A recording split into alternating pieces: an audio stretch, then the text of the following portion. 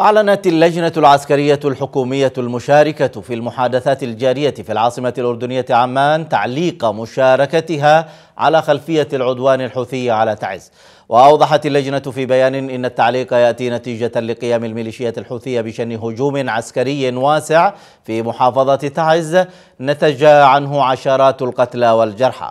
وقالت اللجنة إن الهجوم الحوثي كان يستهدف إغلاق آخر شريان رئيسي يغذي مدينة تعز المحاصرة منذ سبع سنوات.